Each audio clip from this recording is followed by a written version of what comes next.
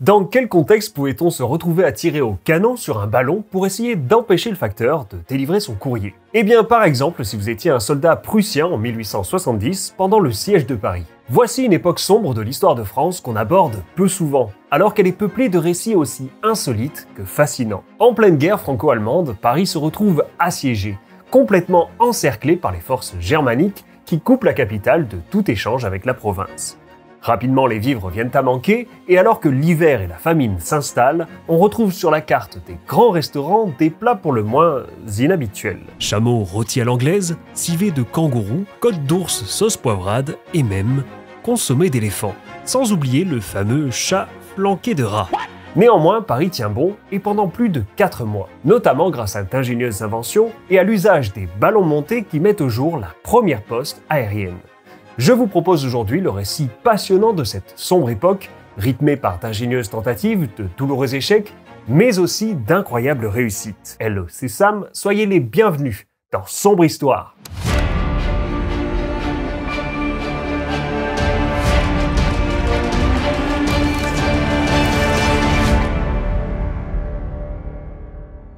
Si tout comme moi vous adorez les histoires, en particulier celles qui se cachent dans la grande histoire, voilà qui devrait vous plaire. Que vous soyez plutôt roman, bande dessinée, livre audio, podcast, comics, magazine, presse, vous pouvez retrouver l'ensemble de ces formats réunis en une seule et même application, Nextory. Et c'est surtout la seule appli de lecture en France à vous le proposer.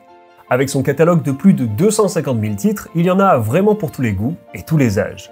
Pour ma part, je vous recommande chaudement le livre audio Syntex Un prince dans sa citadelle, que vous pouvez aussi retrouver au format livre numérique avec de superbes illustrations de Romain Hugo. C'est une biographie passionnante, à la fois accessible, tout en restant merveilleuse tant par la précision de ses détails que par la poésie qui transparaît dans la plume de Bernard Chabert.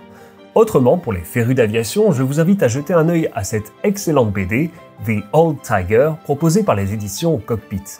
Vous y retrouverez les exploits d'un pilote hongrois pendant la Seconde Guerre mondiale, une histoire vraie et peu connue qui vaut vraiment le détour. Enfin, si vous comprenez un petit peu l'anglais, je vous suggère cet excellent livre Shadow of the Titanic d'Andrew Wilson.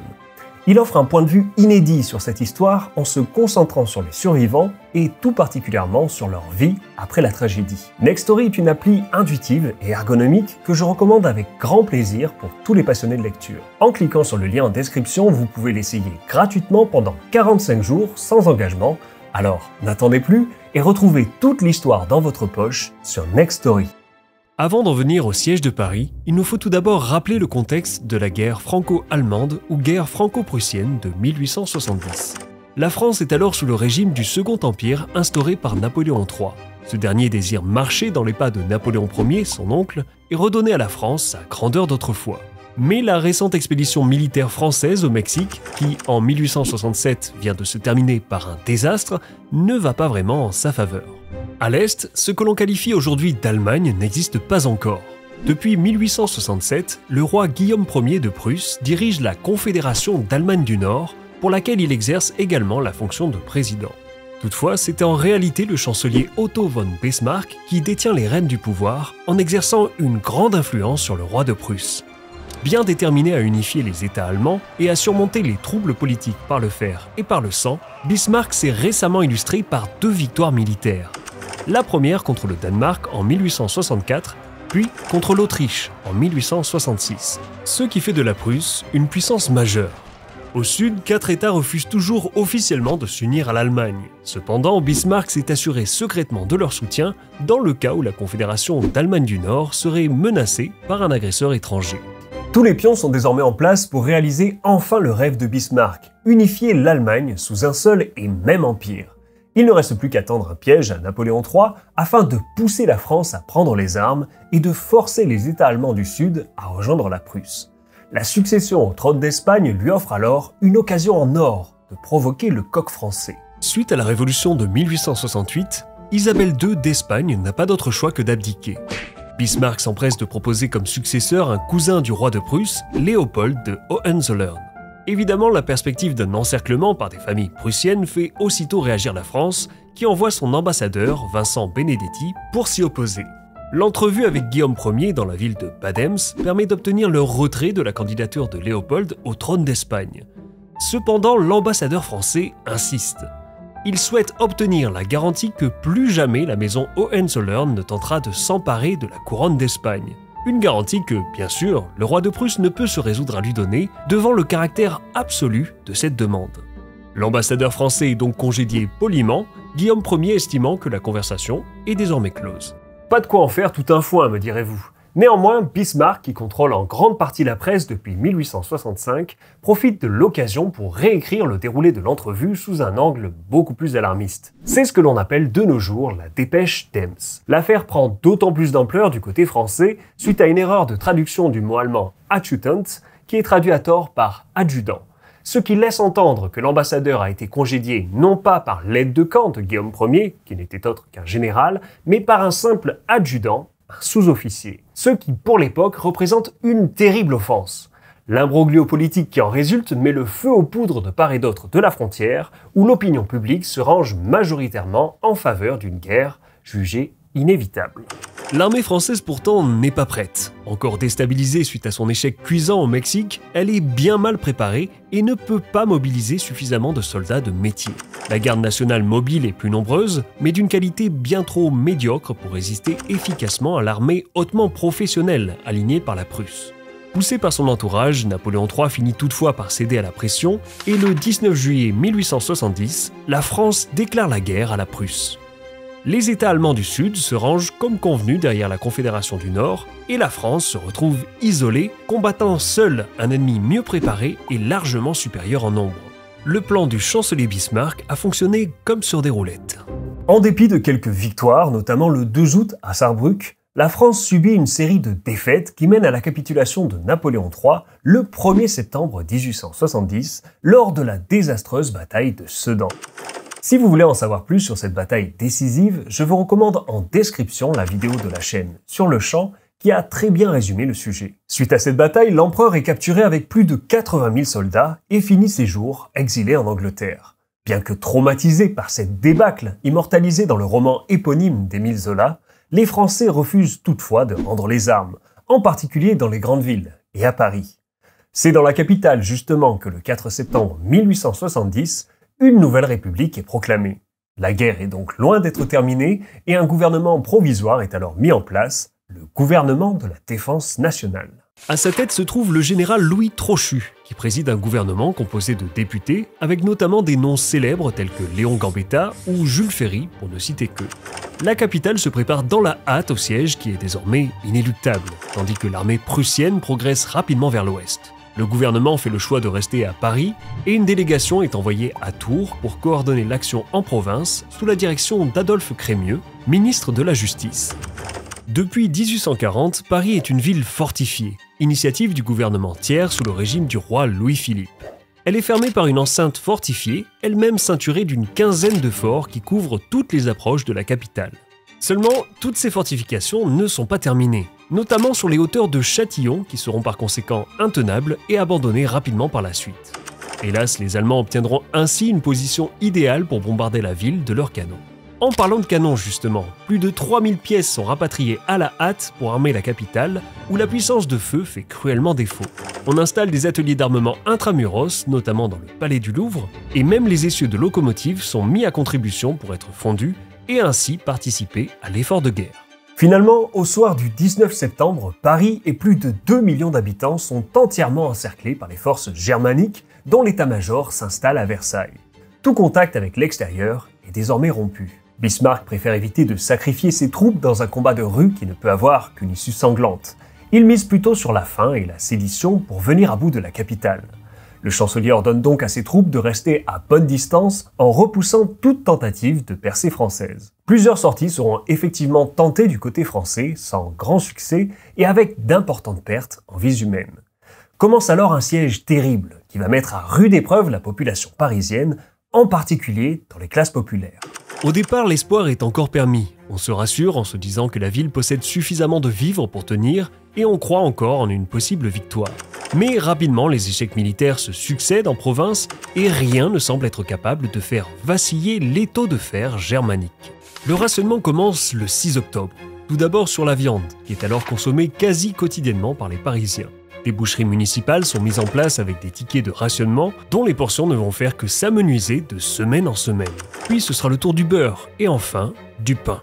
Alors qu'un hiver rigoureux s'installe en décembre avec des minimums approchant moins 12 degrés, les réserves de charbon sont déjà au plus bas et on décide de le rationner bien trop tard. Les arbres du bois de Vincennes, de Boulogne, mais aussi des parcs de la ville sont mis à contribution. Des tickets sont distribués pour rationner le bois de chauffe, mais ce dernier fait parfois cruellement défaut. Les boulangers peinent à faire fonctionner leur four, et dans les foyers, tout comme dans les administrations, on en vient parfois à sacrifier les meubles pour se réchauffer. Une fois tout le bétail abattu, on se tourne vers les chevaux pour alimenter les boucheries. Cette viande, jusqu'alors boudée par les classes supérieures, finit par devenir un mets de choix, et les prix s'enflamment. Au cœur de l'hiver, pour les repas de fête, on retrouve sur la carte des grands restaurants des mets pour le moins incongrus. Chameau rôti à l'anglaise, civet de kangourou, côte d'ours sauce poivrade et même consommé d'éléphant, tandis que certains animaux du jardin d'acclimatation et du jardin des plantes sont sacrifiés. Sans oublier le fameux chat flanqué de rats qui remplace parfois la viande chevaline sur les tables les moins fortunées. Victor Hugo écrit d'ailleurs le 30 décembre 1870 Ce n'est même plus du cheval que nous mangeons, c'est peut-être du chien, c'est peut-être du rat. Je commence à avoir des maux d'estomac nous mangeons de l'inconnu. En janvier 1871, du pain noir est vendu par des boulangers désœuvrés à court de farine. Hugo ajoute alors J'émiette aux poules notre pain noir, elles n'en veulent pas. Pour finir, à partir du 5 janvier, les Prussiens mettent à profit les positions surélevées qu'ils ont pu capturer, ainsi que leurs puissants canons Krupp, pour bombarder la ville et démoraliser les assiégés. Aucune sirène ne vient alors prévenir de cette pluie de fer qui frappe à l'aveugle sans crier gare. Les quartiers deviennent méconnaissables, certains forts sont pratiquement détruits, et en dépit de la Convention de Genève de 1864, même les hôpitaux sont visés. Celui installé aux Invalides ainsi que la salpêtrière en feront tous deux les frais. À cela s'ajoute la crainte constante d'un assaut allemand que certains redoutent et que d'autres attendent telle une délivrance. Les Parisiens sont rongés par l'inaction et le doute. La défiance envers le gouvernement de la Défense en particulier grandit rapidement. On lui reproche son attitude trop passive et on le soupçonne de vouloir négocier un armistice avec les Allemands. Victor Hugo dira plus tard à propos du général Trochu, le président, Trochu, participe passé du verbe trochoir.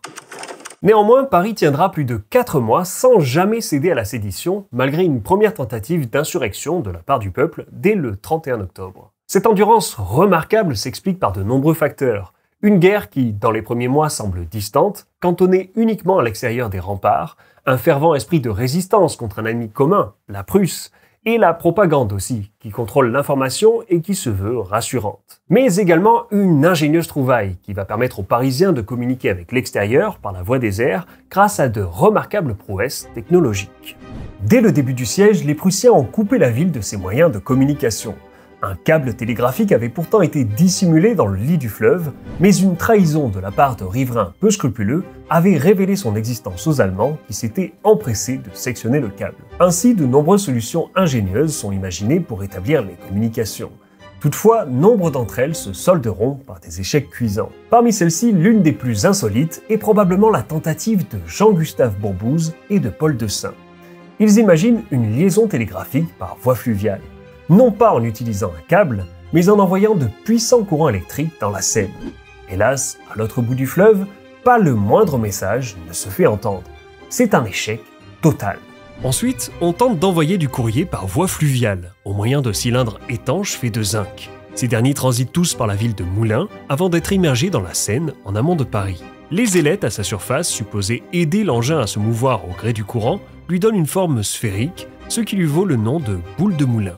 Ces boules sont censées rouler dans le lit du fleuve afin de franchir les lignes ennemies au nez et à la barbe des Allemands avant d'être récupérées dans un filet tendu au milieu de la Seine, à Paris. Si un premier essai à petite échelle s'annonce prometteur, dans la pratique, aucune des 55 boules de moulin ne sera récupérée pendant le siège de Paris. Pour l'anecdote, certaines d'entre elles furent retrouvées près d'un siècle après les faits et le courrier était parfois en si bon état que la poste a pu les remettre aux descendants du destinataire. Par ailleurs, vous pouvez découvrir des exemplaires de ces lettres et de boules de moulin exposés au musée de la Poste à Paris. La méthode la plus fiable s'avère finalement être le ballon, qui peut prendre deux appellations, celle de ballon monté lorsqu'il est manié par un aéronaute, et celle de ballon non monté si aucun occupant ne se trouve à son bord. Si l'on ne parle pas de montgolfière ici, c'est parce qu'une montgolfière fonctionne grâce au réchauffement de l'air contenu dans son enveloppe. tandis qu'un ballon s'élève dans le ciel après avoir été gonflé grâce à un gaz moins dense que l'air environnant, souvent de l'hydrogène ou de l'hélium, et dans le cas présent grâce à du gaz d'éclairage. On retrouve le même principe sur les gigantesques dirigeables porte-avions qui seront mis au point quelques décennies plus tard et que nous avons abordé ensemble dans une précédente vidéo. L'idée des ballons montés est principalement attribuée à l'initiative de Félix Tournachon, plus connu sous le pseudonyme de Nadar. Photographe célèbre du 19e siècle, il imagine dès 1855 que la photographie aérienne, effectuée depuis un ballon captif, pourrait révolutionner le renseignement militaire. Il prend donc l'initiative, dès le début du siège, d'utiliser quotidiennement un vieux ballon, le Neptune, pour observer les mouvements de l'ennemi depuis la place Saint-Pierre de Montmartre et les transmettre au général Trochu. Rapidement, il se rapproche de Germain Rampon, directeur général des postes, afin de proposer un service postal acheminé par la voie des airs. Une première tentative fructueuse est réalisée le 23 septembre 1870 lorsque Claude Jules Durioff s'envole à bord du Neptune et se pose sans encombre près d'Evreux. Le projet est aussitôt validé par l'administration des postes et le gouvernement qui se précipitent pour mettre à profit cette méthode. Ainsi, le 7 octobre, le Premier ministre Léon Gambetta s'envole à bord de l'Armand Barbès un ballon fourni par Nadar. Il peut ainsi rejoindre Tours, puis Bordeaux dans un second temps, pour organiser la gestion du pays en province. Chaque aérostat emporte toujours son lot de courrier, ouvrant ainsi la voie à la première poste aérienne. Les ballons poste redonnent ainsi un peu de gaieté de cœur aux assiégés qui peuvent à nouveau communiquer avec l'extérieur et assister au départ des ballons, vécu à chaque fois comme une petite victoire, comme un pied de nez envoyé à la Prusse. Cela dit, je me dois d'ajouter une précision. Si on attribue souvent la première poste aérienne au siège de Paris, le tout premier échange de courrier envoyé par ballon nous vient en réalité de la ville de Metz. Alors que cette dernière est elle aussi assiégée, de petits ballons libres sont envoyés dès le 5 septembre 1870 pour transmettre des lettres à l'extérieur. L'idée est à l'initiative d'un pharmacien, Julien-François Janel, et du docteur Papillon. Le courrier est rédigé sur du papier pelure très fin et léger afin d'économiser du poids, et on nommera par la suite cette correspondance les papillons de Metz. Un procédé similaire est utilisé à Paris, les lettres ne doivent pas dépasser 4 grammes. Tout est optimisé pour économiser du poids, y compris le ballon poste, un journal mis au point pour donner des nouvelles de la capitale assiégée et transmettre les décrets officiels à la province. On utilise alors les marges de ce dernier pour ajouter des messages personnels. La fabrication des ballons, elle aussi, est organisée. Leurs dimensions sont progressivement standardisées, des ateliers sont installés par les frères Godard à la gare d'Austerlitz et les associés de Nadar s'installent à la gare d'Orléans, puis à la gare du Nord. Des centaines de couturières sont mobilisées pour la confection des enveloppes en percaline qui sont ensuite vernies. C'est en quelque sorte les prémices de l'industrie aéronautique. Au total, c'est 66 ballons montés qui s'envolent dans le ciel parisien en direction de la province, emportant entre 2 et 3 millions de lettres sous formes diverses.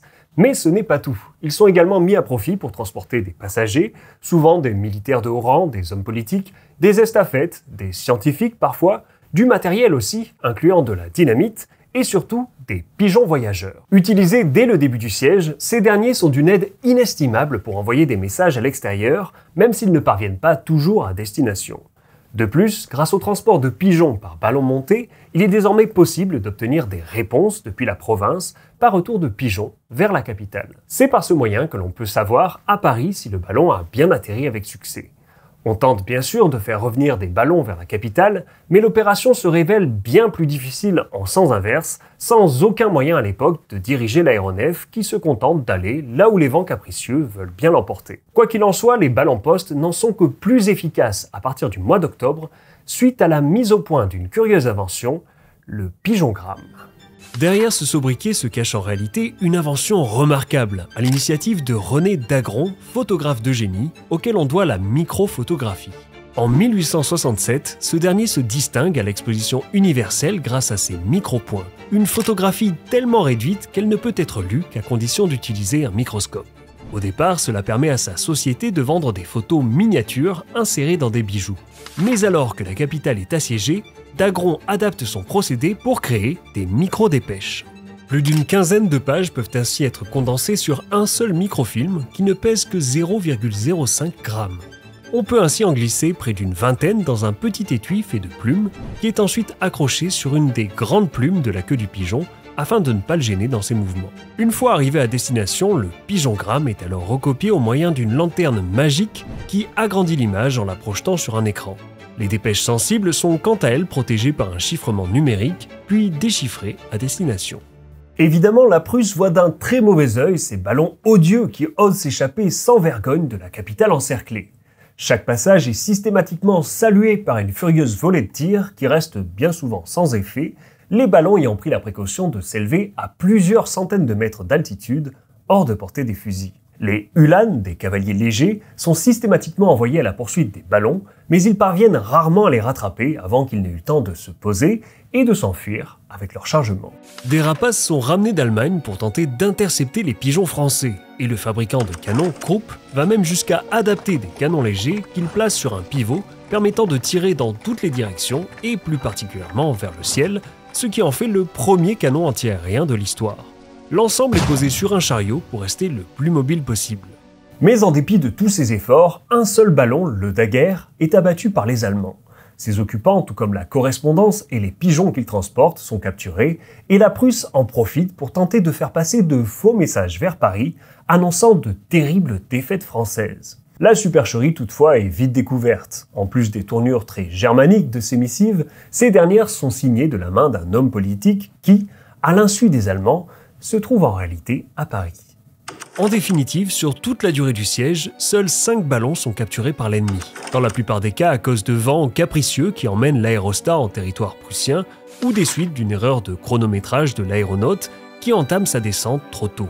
Un ballon, le Montgolfier, est même emporté jusqu'en Alsace près de Heiligenberg où seule la complicité des habitants du village permet à l'équipage d'échapper à l'occupant prussien.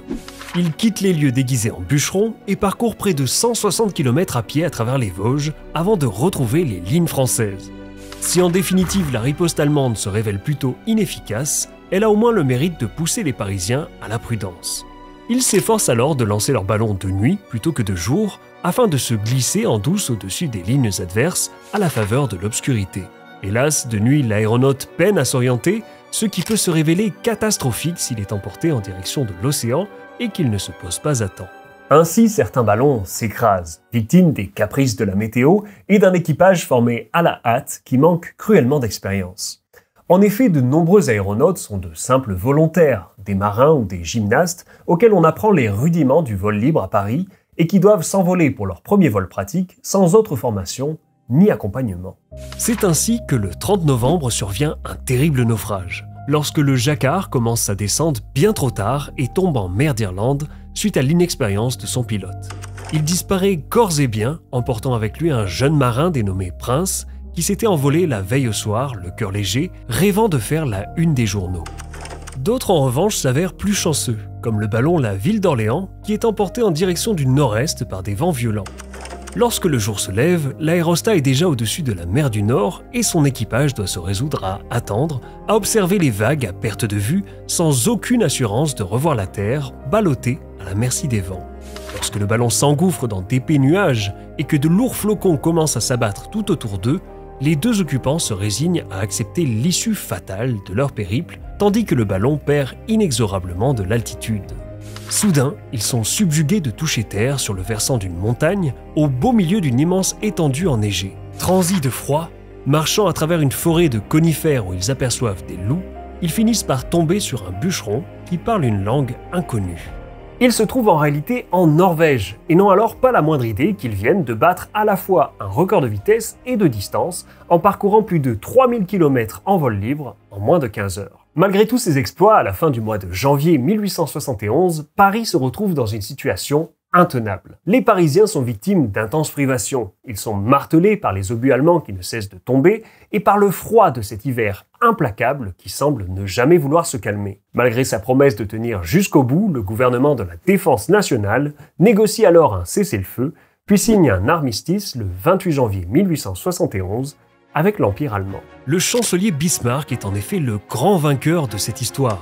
Son rêve d'une Allemagne unifiée s'est concrétisé le 18 janvier dernier dans la galerie des glaces du château de Versailles avec la proclamation de l'Empire allemand. Événement qui est vécu comme une odieuse humiliation pour la France, à laquelle vient s'ajouter la perte des anciens territoires d'Alsace-Lorraine annexés par l'Allemagne. Afin de conserver la ville de Belfort, on autorise même aux troupes allemandes une occupation partielle de Paris, ajoutant ainsi de l'huile sur le feu qui couve au sein de la capitale. Ces événements seront en partie responsables du soulèvement du peuple parisien au mois de mars 1871 et de la proclamation de la Commune de Paris qui va plonger le pays dans une terrible guerre civile. La capitale sera alors le théâtre d'un second siège mené cette fois par les forces loyalistes contre les communards et l'insurrection sera finalement réprimée par la violence lors des tristes événements de la Semaine sanglante au mois de mai. Victor Hugo dira d'ailleurs à ce propos Paris a été victime de la défense, autant que de l'attaque. Puisque l'on a tendance à se rappeler plus volontiers des victoires que des défaites, cet épisode sombre de l'histoire de France est bien souvent éclipsé au profit d'autres périodes plus glorieuses. En plus des anecdotes insolites dont cette histoire regorge, il me semblait important d'en faire le récit, tant ce conflit est crucial pour comprendre le chamboulement qui frappe l'Europe en cette fin du 19e siècle et qui annonce déjà les prémices du premier conflit mondial. L'humiliation de la France, la perte de l'Alsace-Lorraine et le tribut énorme qui doit être payé aux vainqueurs sont comme un avant-goût de l'humiliation qui sera ensuite réservée à l'Allemagne en 1918. Comble de l'histoire, le monument sculpté par Bartholdi sur la place des Ternes à Paris pour célébrer les exploits des ballons montés, de la poste et des pigeons voyageurs au cours du siège, sera finalement fondu en 1944 pour participer à l'effort de guerre nazi. Si vous avez apprécié cette histoire, vous pourriez aussi être intéressé par l'aventure japonaise de Jules Brunet, un officier français qui s'est distingué à peu près à la même époque en participant notamment à une révolte du shogun contre l'empereur japonais. Vous pourrez la retrouver dans cette vidéo. N'hésitez pas à vous abonner à la chaîne, à liker et partager cette vidéo autour de vous et à me soutenir sur Tipeee si l'envie vous en dit. Quant à moi, je vous dis à bientôt pour une prochaine sombre histoire.